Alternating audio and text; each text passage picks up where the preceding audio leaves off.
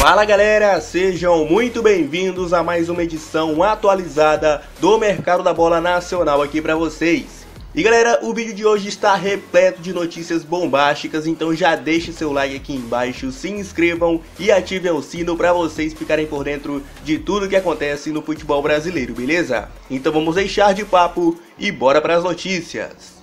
Vamos começar falando do Rogério Ceni, galera. Notícia de última hora que acabou de sair aqui no aplicativo One Football. Rogério Ceni é demitido do cargo de técnico do Cruzeiro. Exatamente, galera. O clima pesado no Cruzeiro fez sua última vítima. Rogério Ceni não aguentou o mal-estar com jogadores e diretoria e foi demitido do comando da Raposa. A informação ainda não é oficial, mas foi cravada pelo jornalista Jorge Nicola da ESPN e o UOL também noticiou o fato. E agora vamos falar do Flamengo, galera, que pode perder o Gabigol no fim da temporada, porque o West Ham cobriu a proposta do Flamengo para comprar Gabigol e ficou confiante na negociação. A diretoria da Inter de Milão já deixou claro que não conta com Gabriel Barbosa para 2020, mas os italianos querem aproveitar o ótimo momento do atacante para realizar uma venda que renda ao clube muito dinheiro. No contrato de empréstimo entre Flamengo e Gabigol, não existe um valor definido e tampouco preferência de compra após o término do vínculo.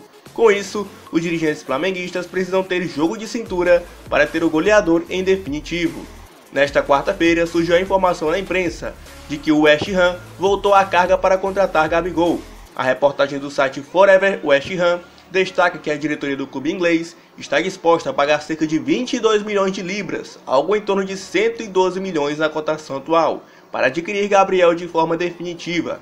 Os valores superam a proposta inicial do Flamengo, que segundo jornais italianos acenou em pagar algo em torno de 18 milhões de euros, cerca de 81,7 milhões de reais.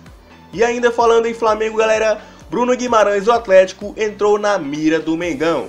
Isso mesmo, um dos principais destaques do Atlético na temporada, inclusive na conquista da Copa do Brasil, o volante Bruno Guimarães, alvo de muitos clubes europeus, também está na mira do Flamengo. A informação era a jornalista Nadia Mawad no programa Bem Amigos do Sport TV. O clube carioca estaria disposto a pagar multa rescisória, que é de 80 milhões no futebol brasileiro. Em caso de negociação para fora, a multa é de 40 milhões de euros, cerca de 180 milhões de reais.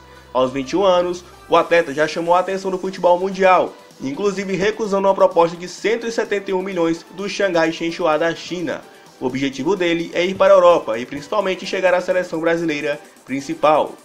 Portanto, galera, essas foram as notícias que mais repercutiram nesta quinta. Rogério Senni foi demitido do Cruzeiro, o West Ham voltou atrás do Gabigol e agora está acenando aí com um pagamento de 22 milhões de libras, que é muita grana.